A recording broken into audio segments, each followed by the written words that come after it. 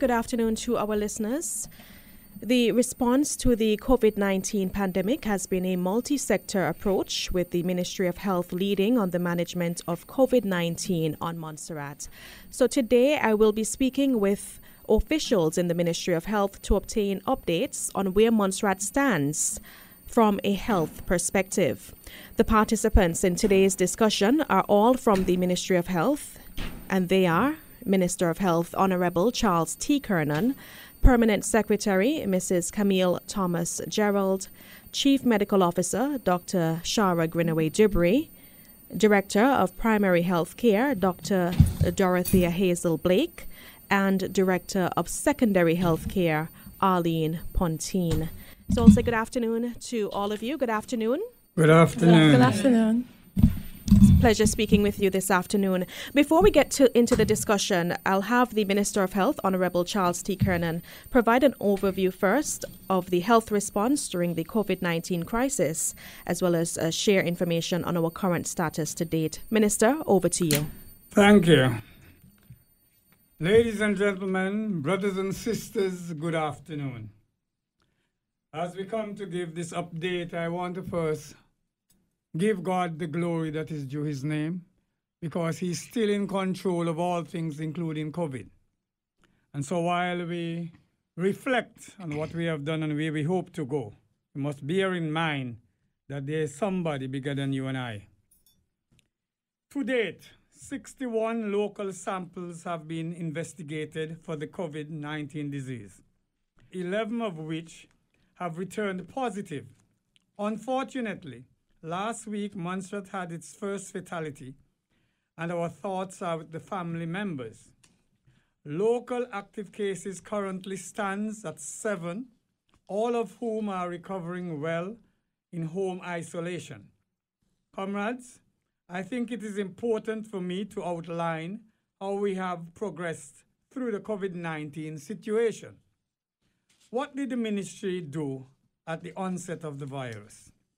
The ministry provided several briefings to cabinet when coronavirus was emerging in China and also bolstered its port health monitoring when the importation of the disease was deemed at a moderate risk to the Caribbean region.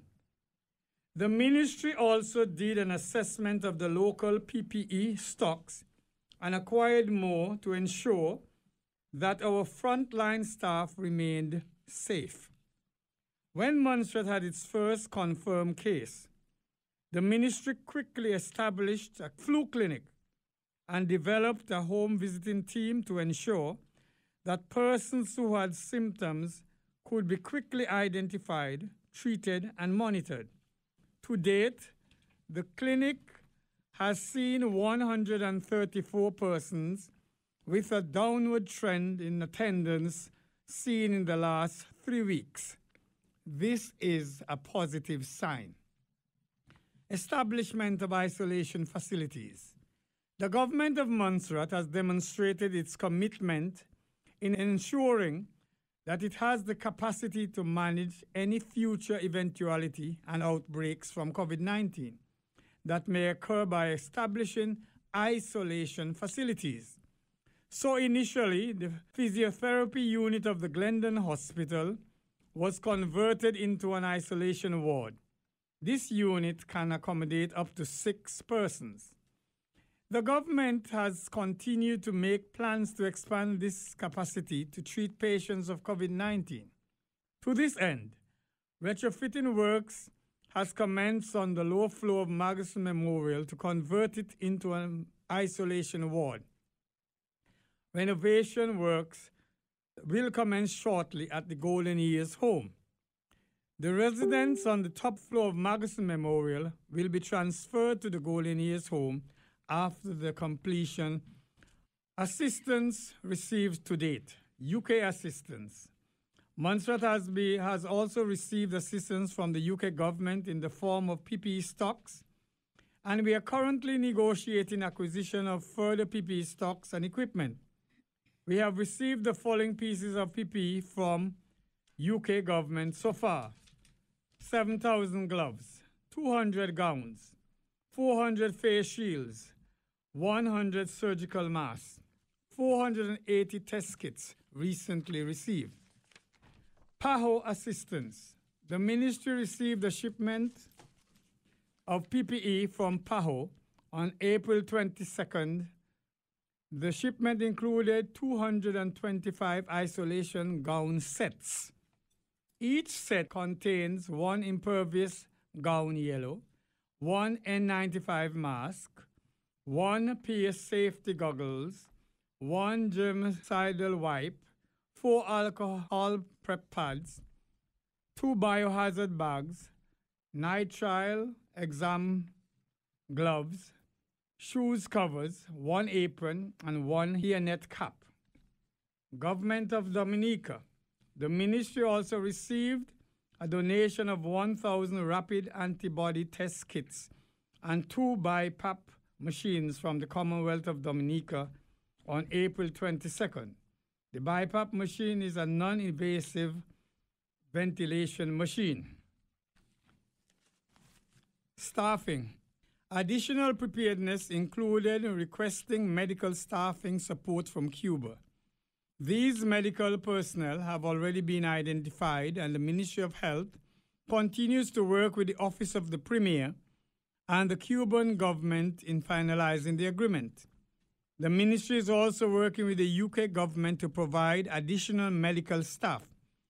Staff is required to cover existing vacancies within the nursing department and to provide respite for current staff. Testing capability. We are proactively preparing additional space in the lab at Glendon Hospital to accommodate local testing. We are receiving support from the UK government in procuring the machines for testing as well as the necessary testing kits and other consumables required. Our staff will receive training and additional support to build our local capacity to test from PHE England. We envisage that testing will commence within a month after the equipment is received. Passes issued on the Ministry of Health as per the suppression orders. For those persons who are in possession of passes authorized by the Honorable Minister, please be informed that no new passes will be issued as these passes will be automatically extended. And I have already written to the Commissioner of Police on that wise. Conclusion Residents, you would have noticed that Montserrat has not recorded a positive case in the last two weeks. And we are hoping that this trend will continue this week and into the next and into the months ahead. But I would like to remind you that all the gains realized over the last two weeks will be lost if persons do not adhere to the public health suppression and control orders implemented by the government of Montserrat. Please remain committed to practicing good hygiene and physical distancing, being mindful that any deviation from these practices could see a loss in progress made in containing the disease. Let us all work together to contain COVID 19. May God bless you all and may God bless Montserrat. Thank you very much, Minister. Very comprehensive overview. Uh, let's start now the discussion focusing on uh, the, the COVID 19 cases to date. We know there are seven active cases and two recoveries. All of us are eager to hear that the seven patients have fully recovered. We are all eager to hear that. So, I think it's important to start by explaining the process before a patient can be declared as having recovered. Okay, Fiona, it's um, Dr. Greenaway, Duberry speaking. So, in order for someone to be declared as not having COVID 19, there is a test that is done 14 days after the first confirmed, and you basically need two negative tests at least 24 hours apart. So on day 14, you have a test, and if that is negative, you do another test. In Montserrat, though, we are allowing for seven days to pass between both tests just to ensure that persons have cleared the virus. Um, there is a possibility that on day 14 your test may come back positive. And so that seven day interval is important. Thanks for that explanation because I know a lot of persons, you know, are always asking about recoveries and how soon can we see, you know, the recovery numbers going up. So it's important for persons to understand that process that must be done. In terms of the management and the, the, the treatment of uh, persons with COVID 19, can you explain the process involved or the protocol for someone with COVID 19 who does not require hospitalization versus someone who is hospitalized? Okay, so basically we've been following algorithms developed by CARPHA, that's the Caribbean Public Health Agency, and it basically allows you to uh, basically send the patient through the clinical pathway. For persons who do not require hospitalization, uh, the doctor would treat you as if you're having a flu because it is a flu like illness. So you'll be having probably a fever or a cough, and so it's symptomatic treatment. You have a fever, doctor might give you paracetamol to help you bring down your fever. You have a cough, the doctor might give you some cough syrup to help um, alleviate the cough. In terms of persons who may be hospitalized, so usually you'll be hospitalized because you would have developed pneumonia because this virus affects the lungs. So you may have difficulty breathing, for example. So when you go into hospital, they might be assisting you with your um, oxygen level, so they might be giving you supplemental oxygen. Some persons require a little bit more assistance, and so we would use machines like the CPAP or BiPAP machines, and um, also other ventilation machines like the full ventilator. Mm-hmm, mm-hmm. Thank you. Uh, no, in terms of the Cuban doctors, Minister would have mentioned in his statement that uh, arrangements are being finalized between the Ministry of Health and uh, the Cuban government, Office of the Premier as well, to finalize when exactly the Cuban doctors can come here. Do we have any indication at this point? Uh, I know that has not yet been finalized, but do we have a rough idea as to when we can see the Cuban doctors on island? Camille Thomas Gerald. It is important for me to indicate here that it's not just um, Cuban doctors, but a combination of doctors and nurses. Um, we anticipate that perhaps within the next maybe three week period, we will be able to have these medical personnel on island. Okay. That's our rough estimate, but we're continuing to work with the Office of the Premier in terms of finalizing the agreement. Right. And the numbers, is it 32? I recall hearing that number a few weeks ago. 32 was the original request from the Ministry of Health to the Republic of Cuba. Um, we are unable now at this point to say that we are going to get um, 32. It seems more in the order of 20, okay. or it could be a little less. Okay. But as we work through the logistics, then you'll be able to come back and provide an, a more updated figure. Right. And can we at this point say how long the doctors and the nurses will stay on island for? The initial request is for three months, but we envisage that it could be it could cover a three months to six month period. Right. Now we note that um, over the past two weeks, and we're very happy to hear this that there have been no new confirmed cases over the past two weeks given this trend, and if this trend continues in that we have no new infections and we also have patients recovering, do you still think that will require the services of the Cuban doctors and nurses? Yes, we will still require this support um, from the Cuban medical personnel because we currently have nursing vacancies Okay. So we would need the support to cover the nursing vacancies, and also the staff would have been working around the clock non-stop for the last few months, and therefore they would need some respite. So we therefore will need the support from the Cuban medical personnel. Thank you. And just so that we're clear, the, the medical personnel coming from Cuba, are they only coming to provide support in terms of COVID 19 patients, or will they be providing overall support to the Ministry of Health? They will be providing overall support to the Ministry of Health. Okay, thank you. Now, from an epidemiological standpoint, how long can we expect to be dealing with COVID 19? Um, we know that other other uh, countries are looking at uh, saying things like, you know, one year they, they forecast this to be a situation that could go on for a long time. Can we at this point give an indication as to how long we think? Because we know it might be difficult to say with certainty. Okay, the, the, the short answer is no. We cannot determine exactly how long we'll be dealing with COVID 19 because, first of all, it's a very new virus.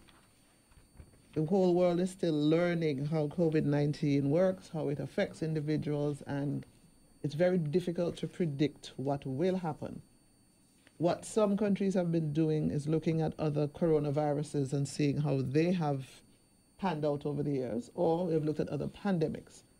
And if, for example, if you look back to our last pandemic, which would have been H1N1 in 2009, and even today as we speak, there are still cases of H1N1 mm-hmm. throughout the region, and, and as well as internationally. But you would recognize that people are not as alarmed because there's now a vaccine, there's now um,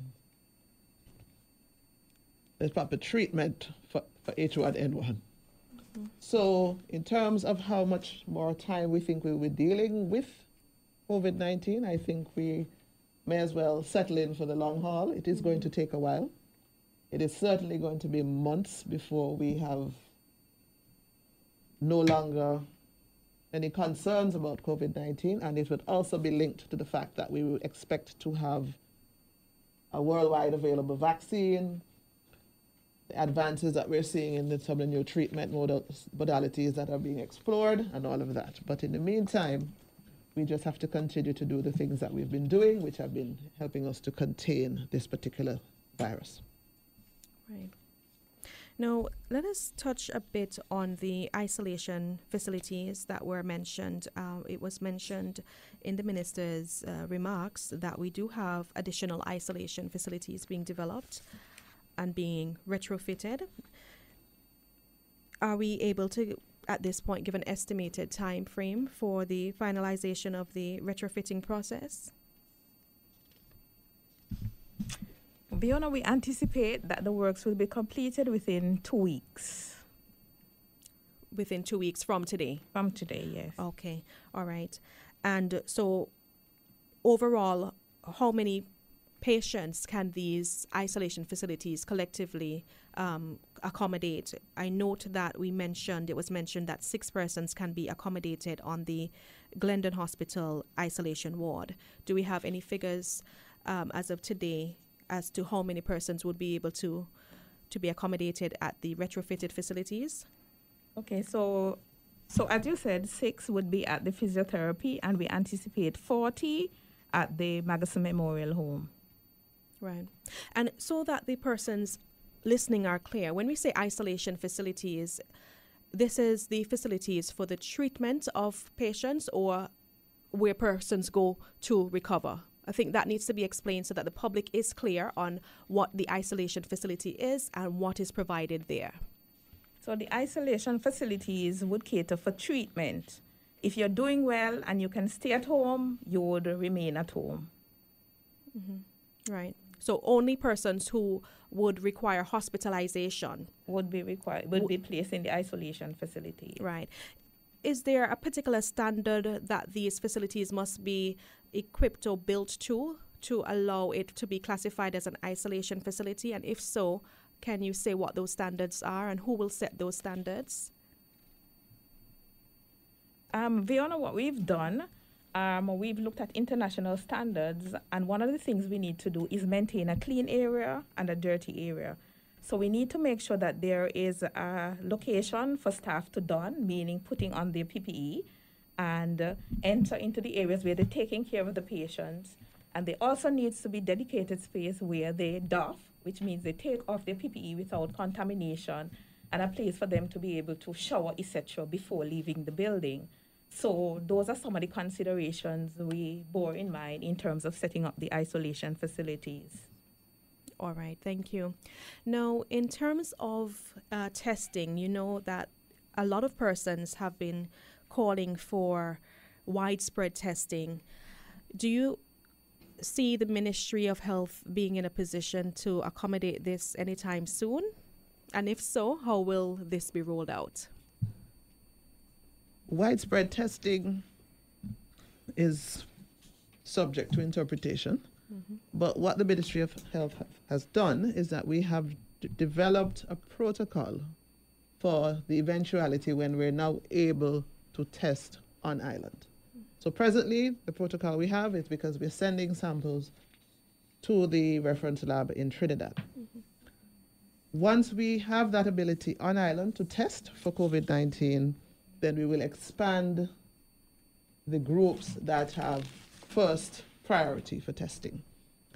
So by then we will be expected to, right now we test all hospitalized patients. Anybody who's admitted to hospital, that means with um, flu-like symptoms and are considered to be at risk of COVID-19, those are, individuals are tested. In the new scenario, that will also continue. Additionally, anybody who's deemed to be a close contact of a known COVID 19 patient will also be tested. And perhaps I should pause here to explain close contact because mm-hmm. what is happening is that people are deciding for themselves who is a contact and who is not a contact. There is a very clear definition that to, in order to be considered a close contact, you must have had face to face contact with a probable or confirmed case of COVID 19, being that you've been within at least one meter from that person for more than 15 minutes.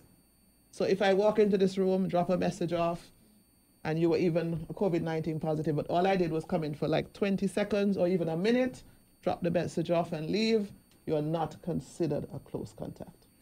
It's more likely if we lived in the same house or we lived, we sat across each other in the same office for duration for an entire day, then clearly it would have been more than 15 minutes.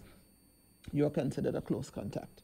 So anybody who's identified as a close contact of a known COVID-19 patient will also be tested. Additionally, anybody who turns up at any of our health facilities, particularly the flu clinic with flu-like symptoms, will be tested.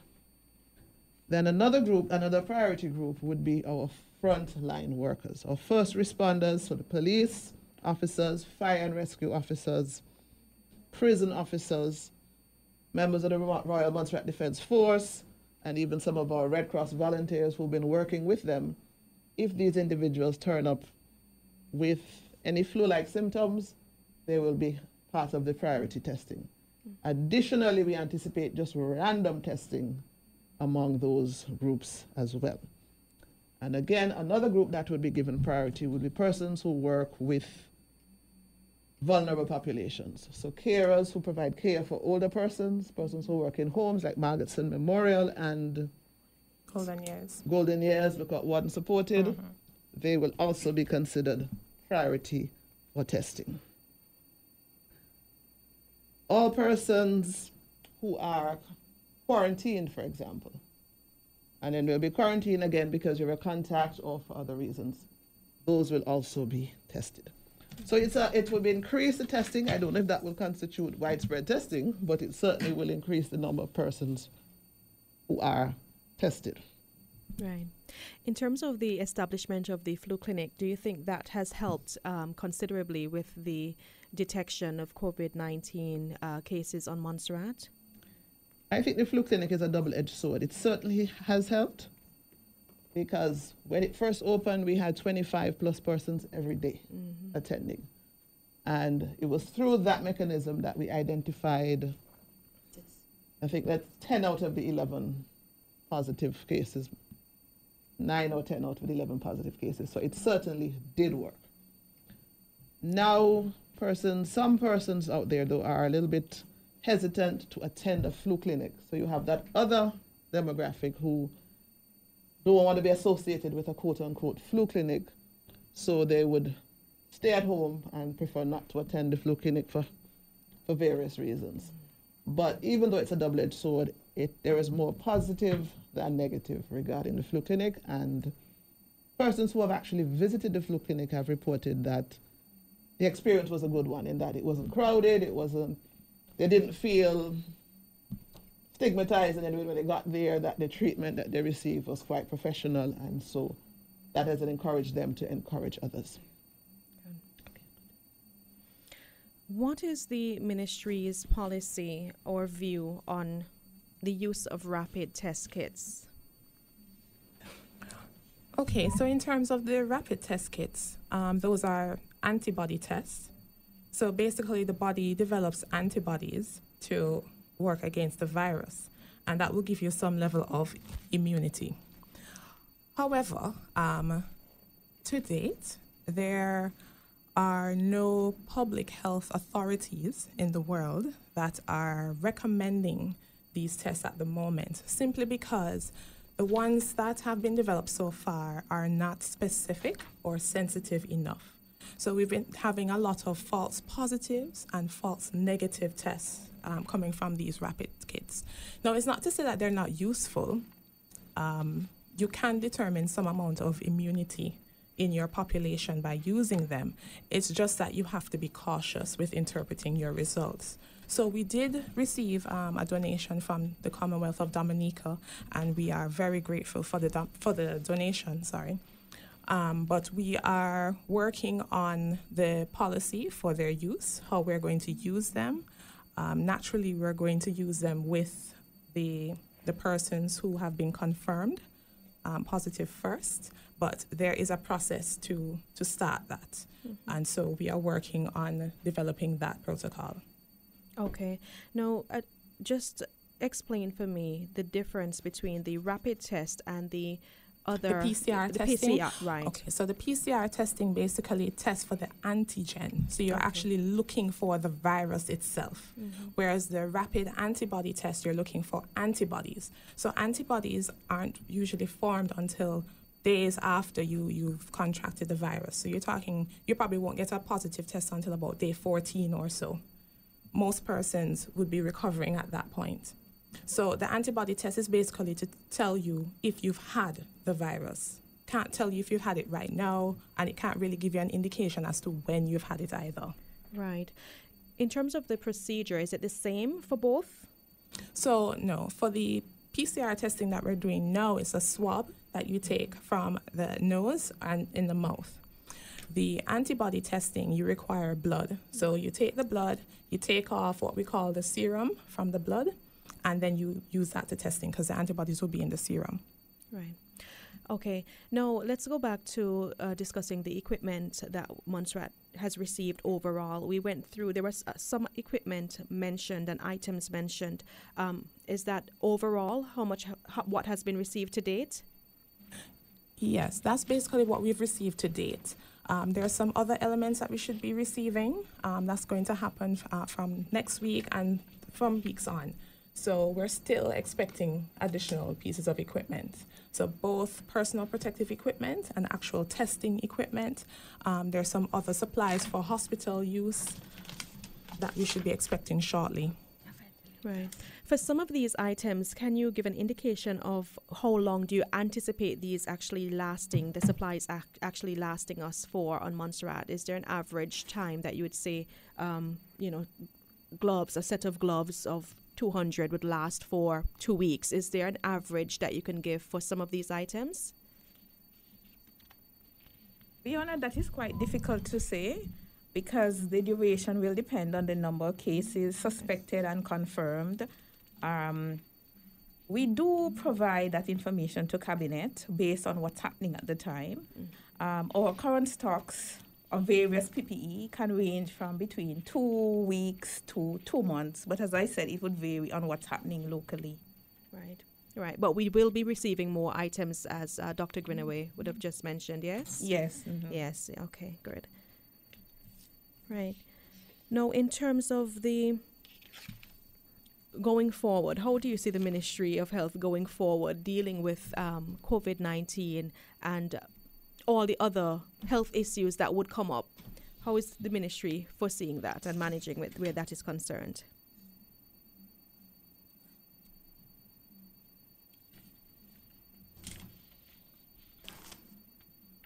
Well, it is called the Ministry of Health and Social Services. So that means that we have overall responsibility for the public health.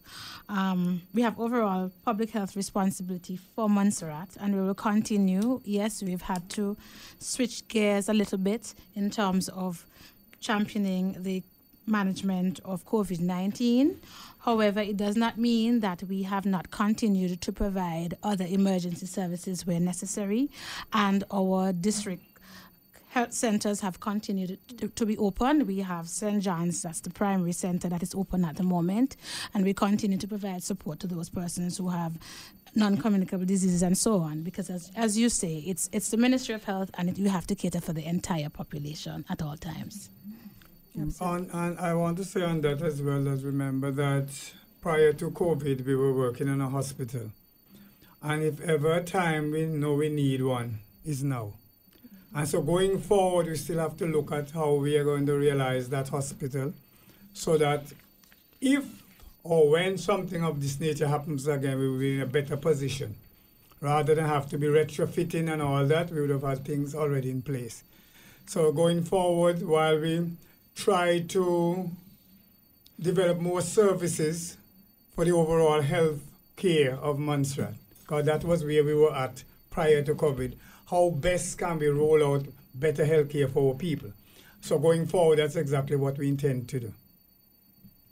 Thank you for that. And now, can we have uh, final comments from each of you, um, ending with the Minister of Health? So, final comments around the table. All right, I just wanted to ask the members of the listening public to continue to work with us, continue to do the things that we've been doing that have gotten us to the point where, for more than two weeks, we have not had a positive case of COVID 19. And that, I think I should just clarify that by saying, and it's not because we're not looking. We have still been testing people, anybody who shows up with any flu like symptom that remotely resembles a COVID infection have been tested. So we have been testing persons and we will continue to do so. And so my encouragement to the public is to continue to look out for those signs and symptoms. If you do have a sign or a symptom or you're just concerned, contact the flu clinic at St. Peter's. Share the information you have and the team will work with you to ascertain whether in fact you have COVID-19 or if it is something else. So we continue doing that, and I think we will come out on the other end of this and be able to return to the new normal. okay, I just want to say thank you to the staff of the Ministry of Health and Social Services who have been working under very trying circumstances and all frontline staff. We also appreciate those other organizations who have supported us during this time we want to say thank you to our donors, including the Seventh Adventists, who are offering us a donation of PPE. At uh, this time, it's quite difficult getting PPE, as you know, because of the worldwide demand, and some governments are actually prohibiting shipments overseas. And so I just want to say we can continue to work hard with the community support and make Montserrat COVID 19 free. And final words from me, um, showing appreciation to the staff as well. Also encouraging the public to follow the measures that the government has put in place and to practice good hygiene in terms of the coughing and sneezing into your elbow, etc., washing your hands, looking out for the signs and symptoms, and contacting the clinic as well if you develop those symptoms. And um, just to say that we have come a very far way uh, Montserrat has done very well. We've received um, commend, commendation from authorities like Public Health England for what we've done so far. And so I think Montserratians should be proud of what we've been able to achieve so far. I would like to say, ex- express my gratitude to the entire Ministry of Health and Social Services team for from the time um, this disease was discovered, we started the work of what it is that we needed to do.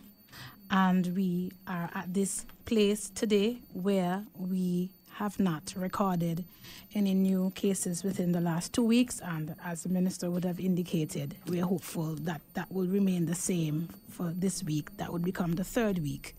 We are hopeful that as per the protocols, we will aim to become COVID free. And as a ministry, we will continue to uphold the public health principles that we are uh, that we are so called to do.